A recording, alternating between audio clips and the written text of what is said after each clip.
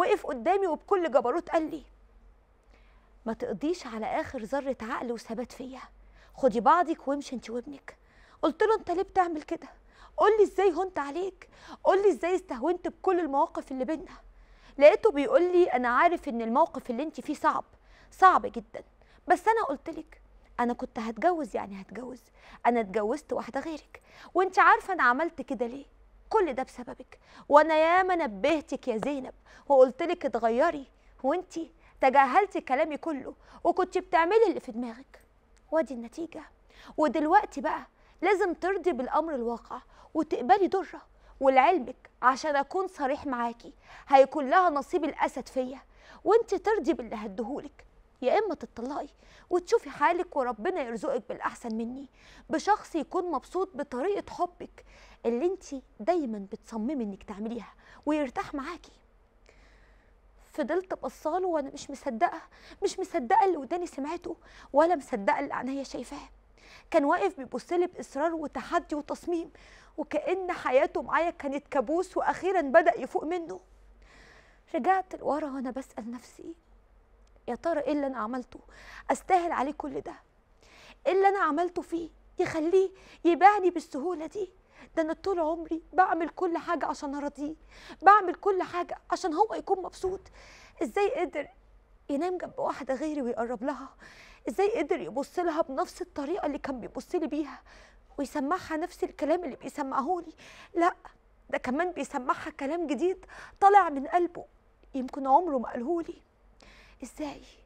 إزاي أنا مش فاهمة؟ وكمان بيقول لي أروح أشوف واحد غيره؟ ما هو ما يعرفش. ما يعرفش إن أنا ما أقدرش أعيش من غيره. ما يعرفش إن أنا مش زيه. ما أقدرش أكون مع راجل تاني أصلا. أنا من يوم ما وعيت على الدنيا وأنا ما بحبش غير هو. ما فتحتش عيني غير عليه. إزاي قدر بسهولة يقول لي كل ده؟ فاكر إن ممكن أدي مشاعري لحد غيره؟ فاكر إن بسهولة عليا إن في حد يقرب مني ويبقى لي نفس الحقوق اللي هو بيمارسها معايا. مش عارفة إزاي قدر يقول كده. وما لقيتش حل غير إن أنا آخد بعضي وآخد ابني وأمشي. مش عارفة أعمل إيه. كنت فاكرة إن هو هيجري ورايا.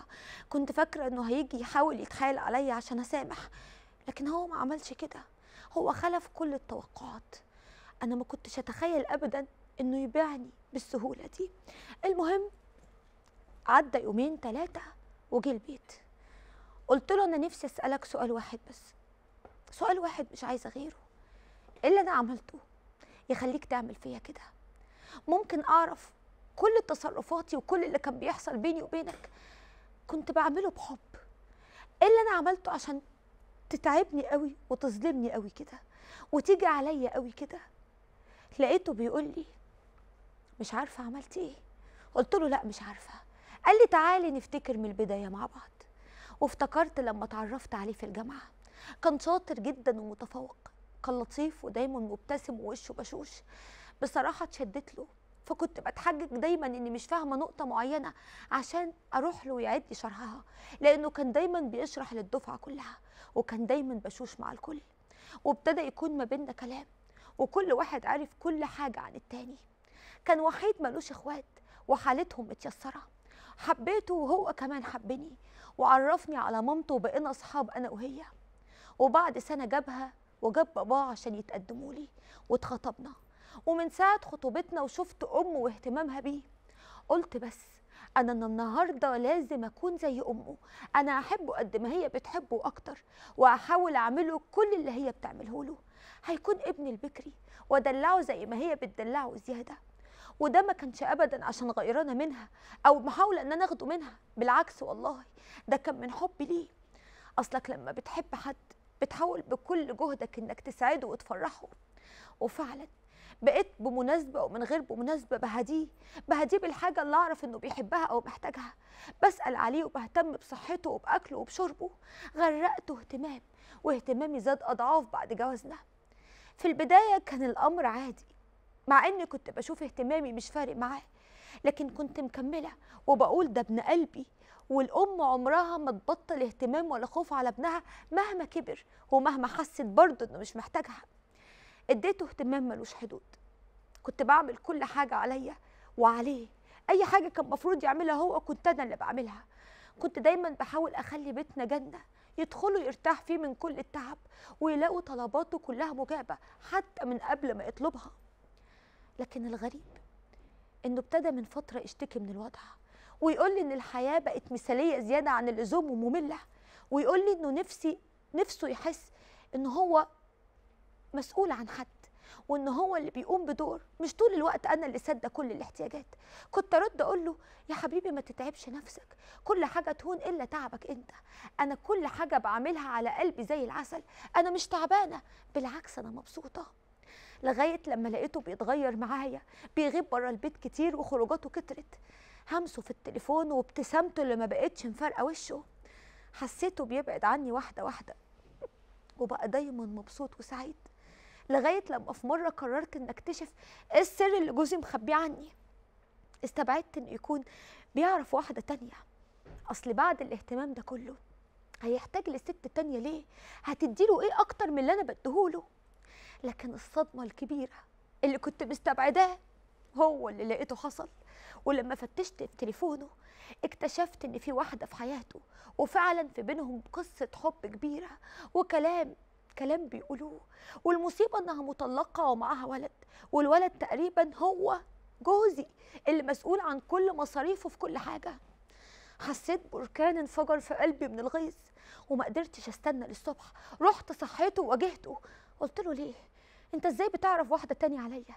وكمان عندها ولد وانت اللي مهتم بيه وبتدفع له كل مصاريفه؟ لقيته بمنتهى الهدوء رد عليا وقال لي أيوه بعرف واحدة تانية عليكي ودي زميلتي في الشغل وبحبها ومتفقين على الجواز وكده كده كنت هعرفك بس كنت مستني لما نقرب نتجوز عشان أنا مش هستحمل نكد من دلوقتي. انهارت وحسيت إن رجليا مش شايلاني قعدت قدامه على الكرسي وبكل هدوء قلت له وأنا بحاول أكتم كل اللي أنا حاسة بيه. طيب وأنا؟ طب أنا هسألك سؤال واحد. أنا قصرت معاك في إيه عشان تروح تدور على واحدة تانية؟ أنا عملت إيه؟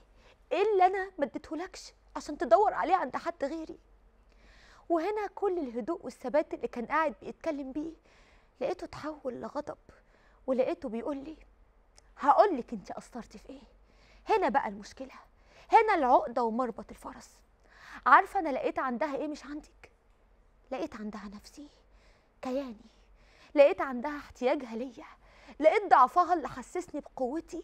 لقيت أنوثتها اللي حسستني برجولتي أنا لقيت نفسي معاها. نفسي اللي بقالي سنين بدور عليها معاكي ومش لاقيها.